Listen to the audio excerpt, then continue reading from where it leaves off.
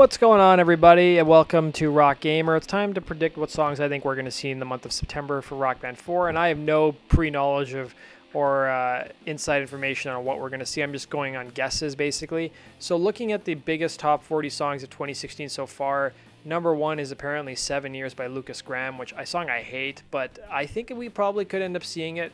I think um, another one could be uh, Zayn Malik, Pillow Talk. That was one of the most played songs of the year. I think we could even see Rihanna work. Um, I think we could even end up seeing maybe Adele down the road. Uh, it's possible. You know, at this point, anything's possible. You watch the uh, VMAs, and you think a lot of those artists will probably end up in rock band. Looking at some more of the some more of the rock music, I think we could see some more '90s stuff. Like maybe New Radicals would be really great. Like Get What You Give would be a great song, um, which is also available as a custom in case you guys are wondering.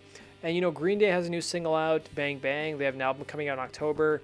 I'm gonna guess we're probably, or very likely, gonna see Bang Bang. I keep saying Blink 182 for the last three, four months, and I'm gonna keep my guess. I think we could get Blink 182, Bored to Death. Red Hot Chili Peppers have a new album out, but then all their songs got are getting delisted off the music store. So I don't think we'll be seeing Chili Peppers anytime soon. And I think the other artists we could see is Selena Gomez, Hands to Myself.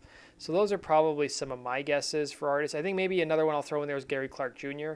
Uh, but that basically does it for my guesses. I want to know from you guys what songs do you think we're going to see in the month of September, and how disappointed do you think we're going to be with the, the DLC? Comment down below. And as always, guys, make sure you subscribe for the latest from Gaming News. Take care.